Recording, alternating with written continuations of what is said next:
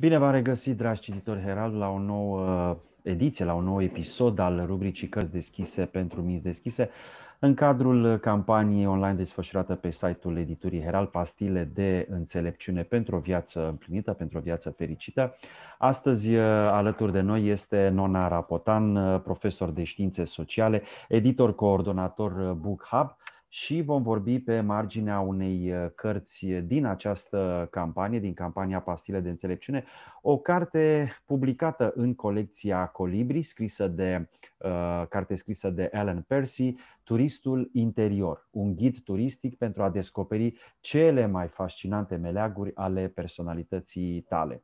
Uh, Putem spune că în prezent avem uh, posibilități aproape nelimitate de a călători în orice colț al lumii, dar paradoxal, poate cel mai neexplorat teritoriu este interiorul nostru. Turistul interior ne pune la dispoziție hărțile necesare pentru a iniția această călătorie pasionantă cu destinație necunoscută. Foarte multe drept capitole ale acestei cărți, foarte multe uh, tradiții, capitole despre tradiții spirituale, dar și despre uh, practici meditative. Uh, eu știu, poate și în zona psihologiei și a psihoterapiei merge uh, Alan Percy cu această carte și aș vrea să vă amintesc doar câteva dintre, dintre ele, și anume autohimnoza, autosugestia, visele conștiente, uh, meditația samadhi, meditația vipassana, care iarăși este foarte uh, cunoscută, uh, yoga, tai chi, qigong din medicina tradițională chineză, antrenamentul autogen, respirația holotropică, mai avem metacogniția, Uh, psihologia transpersonală, iată, apropo de ceea ce spuneam puțin mai uh, devreme, uh, psihologia gestalt, călătoria șamanică și multe, multe altele. O carte interesantă, o carte frumoasă, o carte care ne vorbește despre această călătorie către noi, către sinele nostru și unde, bineînțeles, Alan Percy ne spune că călătoria este de fapt mai importantă, călătoria noastră prin viață, decât destinația, decât scopul de a ajunge undeva anume. Nona. Uh, da, aici sunt de acord cu Ellen Percy și apropo de uh, numele sub care uh, scrie aici, uh, pentru că el are într-adevăr mai multe pseudonime, probabil că mulți dintre cititori îl cunosc și ca Francis de Mihalis. Uh, ce este interesant la uh, cărțile pe care le scrie el de fiecare dată, uh, mie mi-au plăcut, de exemplu, foarte mult și cele despre metoda Ikigai, este faptul că își pune la bătaie toată experiența sa de jurnalist, pentru că el asta este pe fond, un jurnalist cultural sau un jurnalist propriu-zis de foarte bună calitate, deci își pune toată, toată experiența asta uh, la bătaie ca să, uh, să se împace în primul rând pe el cu el însuși, dar să uh, îi ajute și pe ceilalți din jurul lui să trăiască mai bine, mai frumos, să se împace cu ei uh, înșiși. Și într-adevăr asta ce spuneai și tu mai devreme, că uh, călătoria cea mai grea pe care uh, din, din fericire cu toții suntem datori să o facem măcar o dată în viață, este călătoria către sine. Și este o călătorie pe care pe, nu ne-o asumăm aproape niciodată, uh, pe care o începem forțați de obicei de niște conjuncturi mai puțin favorabile. Uh, ne aducem aminte de propriul nostru sine în situații limită, fie atunci când pierdem pe cineva foarte drag și nu știm cum să facem față pierderii, fie atunci când ne îmbolnăvim și uh, anul pandemic chiar că ne-a pus la încercare din punctul ăsta de vedere, mai ales că am fost nevoiți să renunțăm la cele călătorii tradiționale, da, în spații geografice dintre cele mai diverse și să înlocuim, înlocuim aceste călătorii cu călătoria interioară. Și mi-aduc aminte că în martie-aprilie foarte mulți oameni erau efectiv speriați că trebuie să facă această călătorie uh, inițiatică. Unii și-au asumat-o și m-am bucurat să văd că uh, uh, aceștia puțini la număr au reușit să convertească toate aceste limitări și toate aceste întâmplări nefaste care au fost provocate de, de declanșarea pandemiei în, într-o cale de cunoaștere. Și Ellen Percy asta face în, în cartea asta, în Turistul Interior, că el practic ce, ce face? Adună uh, o serie de tradiții din toate colțurile lumii și le pune la un loc uh, sub forma unui ghid, da? Uh, îi dă șansa cititorului să uh, aleagă ce îi se potrivește. Da? Uh, putem vorbi din punctul ăsta de vedere și despre mode, apropo de uh, psihologia gestaltistă sau uh, alte capitole din carte, uh, pentru că, într-adevăr, yoga, da? yoga a început prima oară ca o modă, da? să fie cunoscută, apropiată uh, europenilor. Era la modă să faci yoga, era la modă să te uh, duci la un curs sau să citești o carte despre yoga, dar prea puțini aveau răbdarea să meargă uh, până la capăt pe calea cunoașterii aceste metode și aceste practici, terapii, aceste filozofii, că putem vorbi de o filozofie cu adevărat. E, Helen Percy uh, Uh, ca să nu sperie lumea, pentru că, într-adevăr, el, uh, uh, cum spuneam, fiind jurnalist cu experiență, nu-și bate joc niciodată de ceea ce scrie, deci de subiecte, le tratează la modul foarte serios, chiar dacă limbajul este simplist, chiar dacă traduce, de ghilimele, informația astfel încât să, să ajungă la, la cititor, nu-și bate joc, deci nu, nu simplifică, nu trivializează subiectele, Uh, ca să, tocmai ca să îl țină pe cititor în joc. Și în cartea asta, spre deosebire de alte cărți, el face, are o abordare un pic inedită, în sensul că la fiecare capitol are, începe cu o prezentare, uh, hai să zic, exhaustivă, da? o prezentare teoretică, să zicem, da? Uh, cu niște mici citate introductive, cu uh, uh, aduce aminte de niște personalități care au avut contribuții în domeniul respectiv, după care uh, intervine acel preambul, da? Practic, uh, dacă vreți, preambulul ăsta este similar cu uh, ceea ce facem noi înainte de a ne urca în tren sau în avion. Adică ce facem? Gândim traseul. Uh, ne alegem cele mai bune, uh, uh, nu știu, oportunități de cazare, cele mai bune uh, trasee de uh, culturale, da? Uh, bifăm pe o hartă uh, mai mult sau mai puțin vizibilă uh, ce vrem să facem și ce nu, uh, mai, ce nu mai încape și lăsăm pentru data viitoare. Asta face uh, Ellen Percy în preambul. Pentru că, uh, deci, uh, oarecum separă aspectele importante sau oamenii uh, aduce în discuție oamenii cu adevărat importanți pentru tema respectivă, care chiar au avut o contribuție uh, importantă pentru tema respectivă, de cei secundari. Adică ne ajută să ne centrăm. După care vine partea de puțină istorie și acolo, într-adevăr, face un mic excurs, da? dar foarte, foarte uh, scurt de obicei, tocmai ca să uh, omul uh, contemporan se sperie când uh, dă de niște chestii de astea mai complicate așa sau care îi se par lui foarte noi dar, de fapt, aici, în uh, puțină istorie, Ellen Percy ne atrage atenția asupra faptului că nu suntem uh, nici primii oameni care uh, avem spaime sau uh, uh, traume pe care trebuie să ne le vindecăm. Uh, nu suntem nici uh, ultimii oameni care, uh, nu știu, uh, ne împărtășim sau ne uh, hrănim cu iluzii sau orice alte uh, întâmplări nefaste. Și uh, în această parte asta, și foarte, foarte scurtă, puțină istorie, el uh, practic uh, aduce în discuție și uh, teoreticieni, da, foarte bun. După care trece la partea de ce este propriu-zis termenul respectiv sau domeniul respectiv, deci cu ce se ocupă practic, da?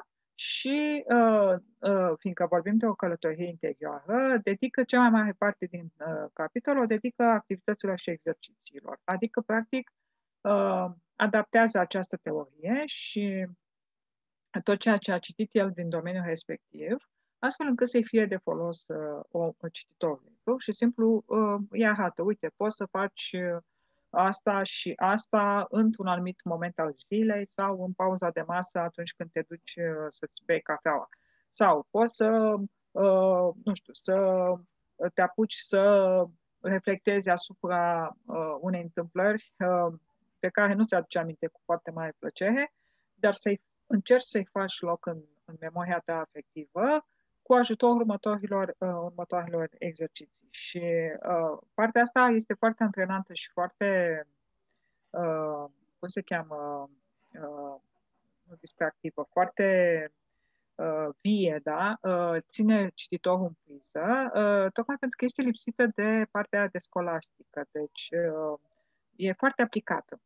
Da? Dacă, pentru că el a lăsat teoria prima parte, în preambul, în, în puțină istorie, și, uh, și atât. Și după aceea trece la partea practică, pur și simplu. Da? Deci că până, nici, nici în partea, în subcapitolul ce este, nici acolo nu insistă foarte mult pe partea asta teoretică, uh, tocmai ca să îl ajute pe cititor să se acomodeze.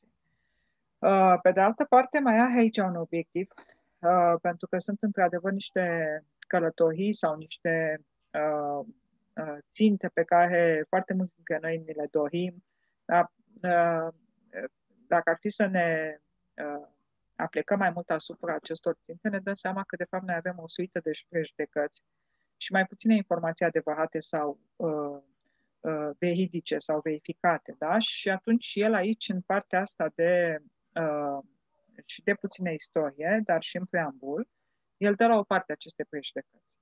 Uh, și încearcă să-i arate, să limpezească apele, adică să-i arate cititorului nu vă luați după toate babele satului, ca să vorbesc uh, popular, da? Uh, ci hai să, uh, să, uite, uh, luăm în calcul tot ce au spus uh, specialiștii, luăm în calcul uh, ce e cu adevărat important și, uh, ok, uite, dacă vreți să studiați, după ce vă propun eu activitățile și exercițiile și vreți să mergeți mai în, uh, în profunzime, uite, puteți să luați cartea lui Jung sau nu știu ce alt uh, Uh, mare uh, terapist, uh, terapeut și să, să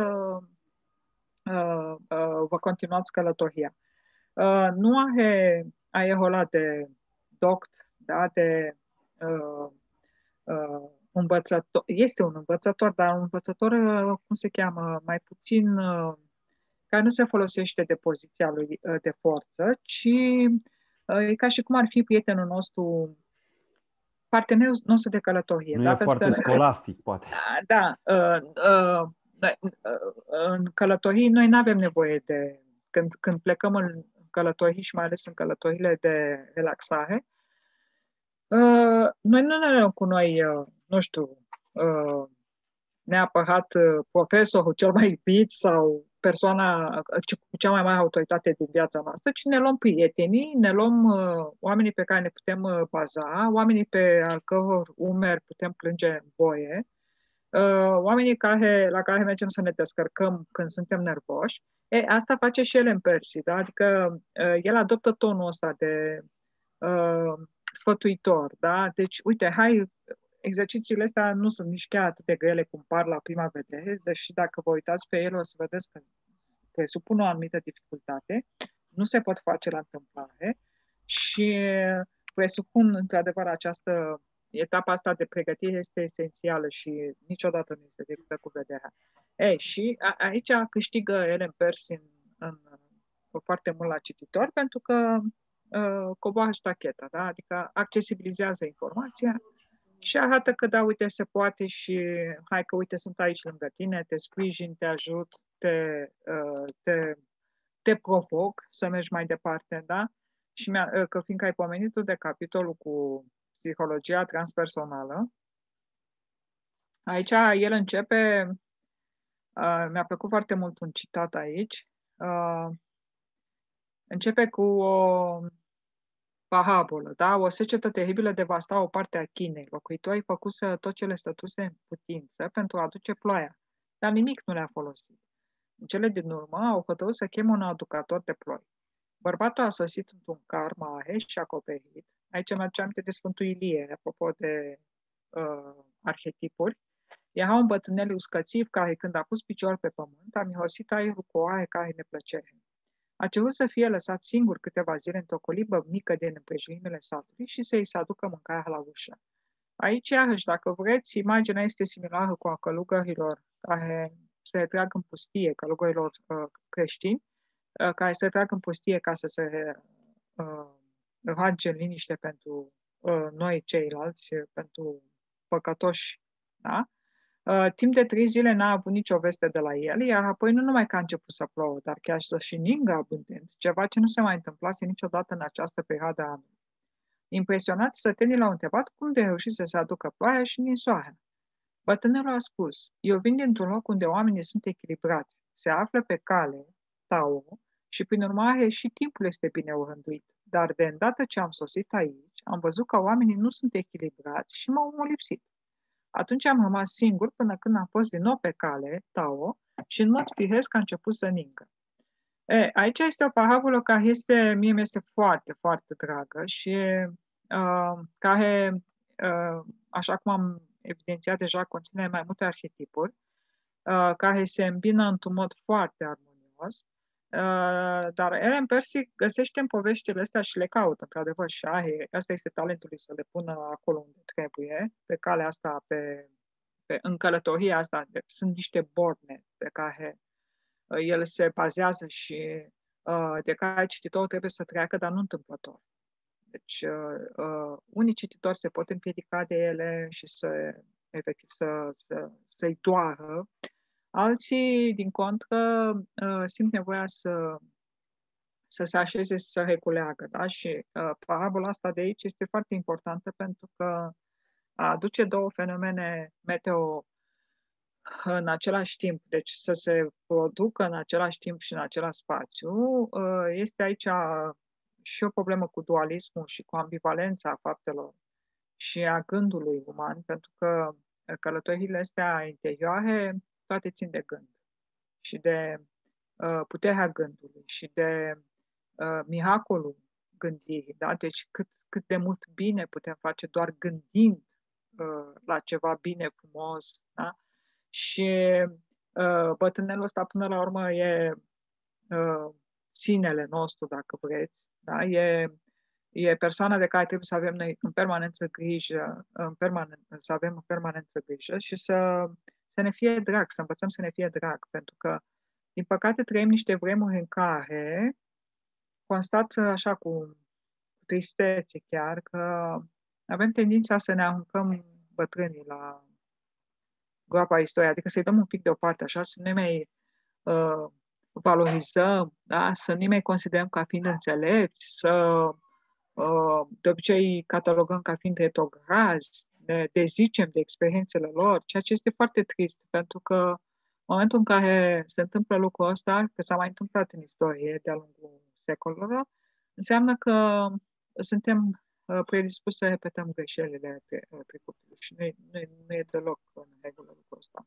Și aici, la uh, capitolul ăsta, tot la ăsta, uh, el, de exemplu, la un moment dat, uh, uh, uh Percy pomenește de Uh, faptul că experiențele se pot împărți în trei uh, categorii. Dincolo de barierele timpului și spațiului, apropo de cum devine posibilă soarea și ploaia în același timp. Uh, al doua, conștiința se extinde într-atât încât poți întâlni entități descarnate, ghid spiritual, ființe extraterestre sau locuitoare altor lumi. Și aici mi-aduc aminte de Părintele Cleopa și de alți mari duhovnici ai ortodoxiei românești, care povestesc că Uh, de foarte multe ori ei sunt, erau uh, tentați, da?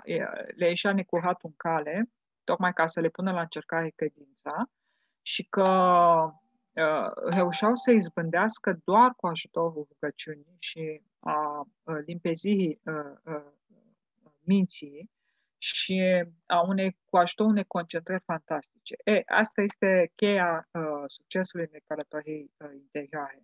Uh, dacă reușim să nu ne abatem și să nu ne lăsăm uh, uh, seduși de uh, uh, culoare, de strălucire, de, uh, nu știu, uh, câștiguri de moment, uh, da? Uh, atunci, într-adevăr, s-ar putea să ajungem și la capătul uh, călătoriei și să reușim să, să, să ne împăcăm cu noi înșine. Că până la urmă asta este de ce avem nevoie de această călătorie, ca să ne să ne păcăm cu noi înșine. Că lumea, din păcate, câteodată ne mai și desparte, așa, da? Deci, când intervin ceilalți, ne cam înstrăinăm. Cam, da, uh, da zi. Nu, vreau să, uh, să spun că foarte frumos ai, uh, ai punctat, uh, pentru că mm, mărturisesc că am mai discutat și cu alți invitați de-a lungul timpului despre această carte, dar îmi place că ai, ai, ai, ai punctat foarte, foarte bine fiecare capitol și ai înțeles foarte bine ce, ce înseamnă de fapt această călătorie interioară în viziunea lui lui Alan Percy, faptul că uh, chiar mă gândeam în timp ce povesteai, uh, faptul că nu este deloc o călătorie comodă, dar absolut deloc. Da? Pentru că, de regulă, când ne gândim la călătorii și la vacanțe, Uh, avem așa să spunem o energie pozitivă și ne gândim că o să mergem și o să facem și o să ne plimbăm și o să vizităm și o să stăm la soare și o să, nu știu, la munte, schiem, fiecare în funcție de unde vrea să, să ajungă, pe o plajă și așa mai departe. E, dar uite că această călătorie, în demersul acestei călătorii interioare, nu știm niciodată peste ce putem da. da? Pentru că această călătorie interioară sondează cumva străfundurile Uh, sufletului nostru, ale minții noastre, uh, ale gândurilor noastre. Chiar foarte frumos ai făcut această comparație cu. Uh, te-ai gândit cu siguranță la rugăciunea inimii și la marii duhovnici pe oh. care i-a dat da, și, România. Da, exact. Și mi-am adus aminte că, nu întâmplător, una dintre ultimele discuții a fost despre castelul interior al Sfintei Tereza de Avila. La fel și acolo vorbim de tot o călătorie inițiatică și Uh, uh, o călătorie spre cunoașterea uh, lui Dumnezeu. Călători, călătoriile astea interioare nu sunt clar pentru oricine și, într-adevăr, nu trebuie abordate ca și cum ar fi o suită de bucurii, de exaltări, da? de, nu știu, Uh, lucruri nemaipomenite, uh, vrem să ne simțim, exact cum spuneai și tu, da, plecăm în, în vacanță cu gândul să facem ceva extraordinar, să ne simțim, nu știu, fericiți până la uh, uh stele și înapoi. Uh, nu, călătoria asta interioară cere un pic de primenire, da, un pic de pregătire și uh, uh, cere și asumare. Pentru că nu tot ceea ce aflăm uh, este și pe plac uh, s-ar putea să aflăm despre noi că uh, avem defecte de neacceptat, avem păcate, uh, nu știu, uh, fața pe care o arătăm celorlalți uh, nu e tocmai aia pe care uh, noi o credeam ca fiind, da? Uh, și s-ar putea să nu ne placă felul cum ne privesc uh, ceilalți sau cum ne văd ceilalți sau cum ne reflectăm noi în ochii celorlalți. Și atunci ce facem cu toate descoperirile astea? Le aruncăm la coș și gata, uh, am încheiat călătoria? Din, din păcate nu se poate, sau din fericire aș spune, ca să vedem partea bună a lucrurilor, și va trebui efectiv să, aici sunt bornele de care spuneam mai devreme, să le luăm ca fiind niște încercări uh, pe care trebuie să ne le asumăm și din care trebuie să învățăm, să le convertim în în asimilări și în acumulări, da? și în învățăminte și în învățături, în învățături, cum spun tot ai noștri duhovnici. Uh, și, de adevăr, asta nu ce și un pic de timp. Uh, cred că pandemia sau, mă rog, un fenomen de genul acesta, că eu, eu îl privesc ca pe un fenomen social, cred că e un bun prilej pentru astfel de călătorie. Adică dacă nu acum ai timp pentru astfel de, n-ar fi timp pentru astfel de călători, atunci când? Când, exact. Da, da, și de asta cred că acum e foarte bine de citit cartea asta și nu numai asta, în general, ce scrie Ellen Percy. Uh, și pentru că, într-adevăr, sunt niște puncte de plecare acolo. Dragii noștri, am vorbit astăzi despre turistul interior, un ghid turistic pentru a descoperi cele mai fascinante meleaguri ale personalității tale de Alan Percy, o carte publicată în colecția Colibri și care face parte din uh, campania online Pastile de înțelepciune pentru o viață împlinită, desfășurată pe site-ul Editurii Herald și pe pagina oficială de Facebook a editurii. A fost alături de noi Nona Rapotan, profesor de științe sociale și editor coordonator Book Hub.